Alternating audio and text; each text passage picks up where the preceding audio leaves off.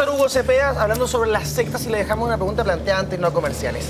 ¿Quiénes son las personas más proclives a caer en las garras de personajes como Ramón Castillo, Antares de la Luz, de la secta de Coyihuay, profesor? Primero vamos a excluir algo.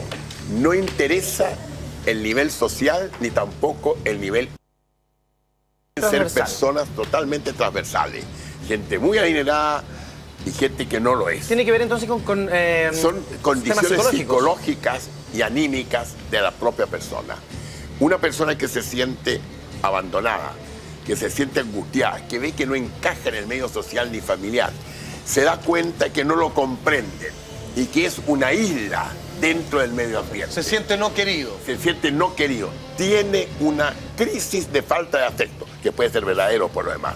Y lo que pasaba en este caso de la secta de Coyihuay en especial y en particular, según el libro de Verónica Foxley, Cinco gotas de sangre, era que estos, por ejemplo, Pablo Undurraga, que era como la mano derecha de Ramón Gaete o Antares de la Luz, era un chiquillo que siempre se había sentido como ajeno en el mundo, ¿no? Él, él, claro, era una condición psicológica. Claro.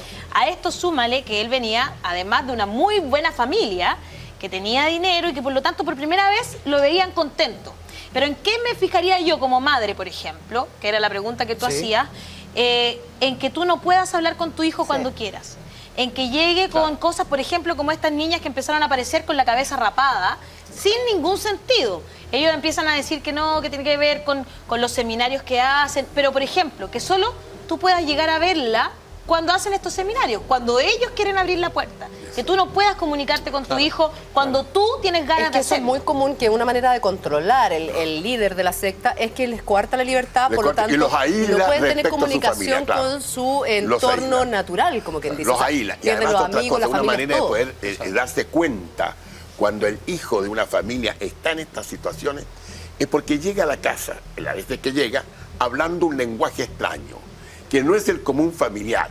Palabras rebuscadas, muchas citas bíblicas mal, mal manejadas y en general un lenguaje medio esotérico que no es el que él utilizaba antes. Porque siempre la secta eh, apunta a una deidad, o sea, siempre le dan una categoría de Dios a quien eh, lidera la no, secta. No siempre. O, o- o canal no de Dios. Pero como un siempre- representante de algo. a- representa algo vinculado a lo sobrenatural siempre. Es como un embajador de un poder emba- mayor. Exactamente. O salvo que se constituya como tal.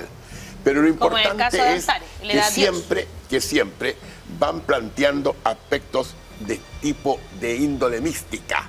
Hay un cierto misticismo que empieza a inocular. Y el peligro está de quieto. El misticismo sabemos que es una gran virtud.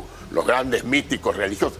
Pero ellos son místicos religiosos, con ascesis, o sea, con penitencia. Pero estos místicos que aparecen de un día para otro, que se creen señalados por el dedo de la divinidad, o que ellos mismos participan de la divinidad, son los más eh, eh, eh, peligrosos de todos.